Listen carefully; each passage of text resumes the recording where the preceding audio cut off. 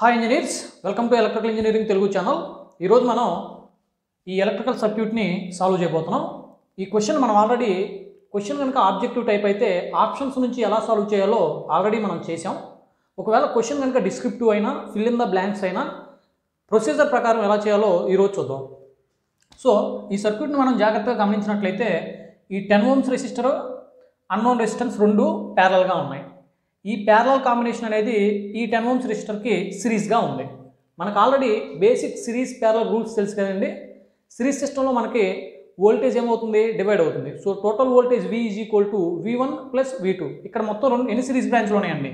ఈ parallel combination ఈ ten ohms సిరీస్గా ఉంది కాబట్టి total applied voltage hundred volts అనేది మనకి టూ పార్ట్స్గా డివైడ్ అవుతుంది. ఈ టెన్ ఓమ్స్ రిజిస్టర్కి అక్రాస్గా డ్రాప్ అయ్యే వోల్టేజ్ వి వన్ అనుకుంటే ఈ పా ప్యారల కాంబినేషన్కి అక్రాస్గా డ్రాప్ అయ్యే వోల్టేజ్ నేను వి టూ అనుకుంటున్నాను.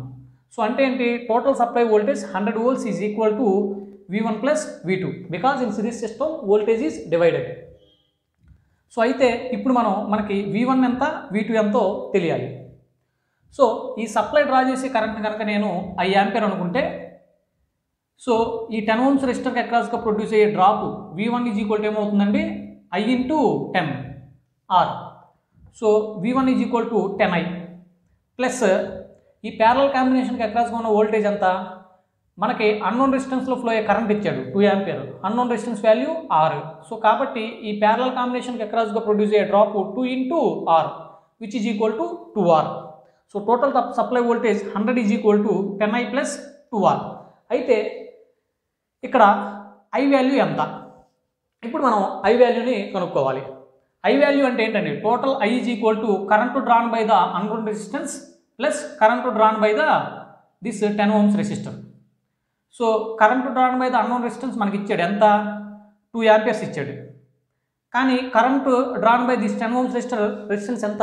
మనకు తెలియదుగా? కనుక్కుందాం ఇప్పుడు. అయితే voltage across this ten ohms resistance మనకు ఆల్రెడీ తెలుసు. V two is equal to ఏంటండి two into R so current flown through this ten ohms resistor అంటే ఏంటి? Two R divided by ten V by R కదా.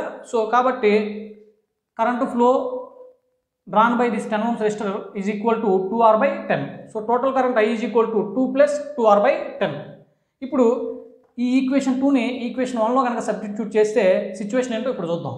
So hundred volts is equal to ten into I అంటే ఎంత? Two plus two R by ten plus V two is equal to ఎంత? Two R కాబట్టి ఈ ten ఇప్పుడు లోపలికి multiply చేస్తే ten into two twenty plus ten into two R by ten which is equal to two R plus ఈ two R సపరేట్గా రాసుకున్నాం. So hundred is equal to twenty plus four R ఇప్పుడు are టర్మ్ని మనం separate చేస్తే four R is equal to hundred minus twenty so R is equal to eighty divided by four which is equal to twenty ohms so ఈ విధంగా మనం question ఏ విధంగా ఇచ్చినా కూడా సాల్వ్ చేయొచ్చు.